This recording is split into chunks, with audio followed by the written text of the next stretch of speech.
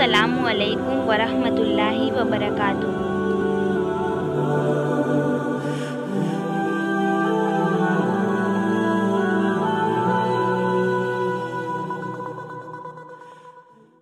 जो मुसलमान खवातीन कामयाबी चाहती हैं, कामयाब ज़िंदगी और कामयाब आखरत, वो दो काम ज़रूर कर लें।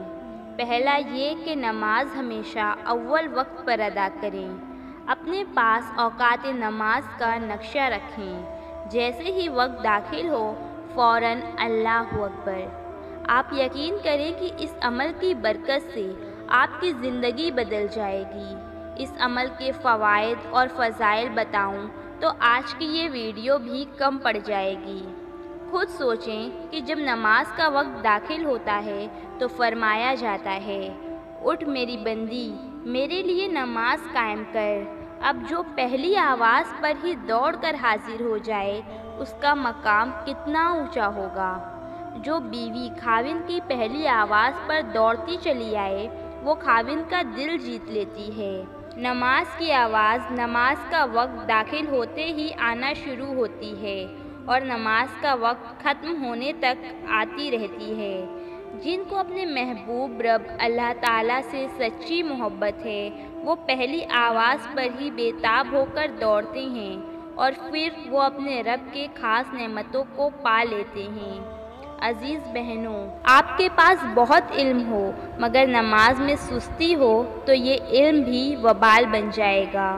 नमाज़ में अल्लाह ताला की मदद है, इस मदद को अपने साथ लेंगी तो किस की मजाल है कि आपकी नाकदरी करे, आपको सताए?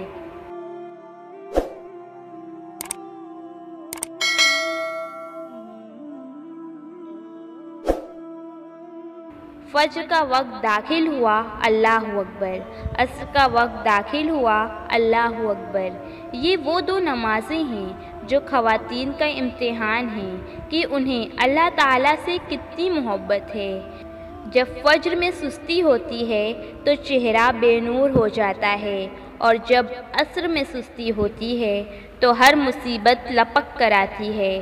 खालिस अल्लाह ताला की रज़ा के लिए अपनी नमाज़ों का मामला ठीक कर लें।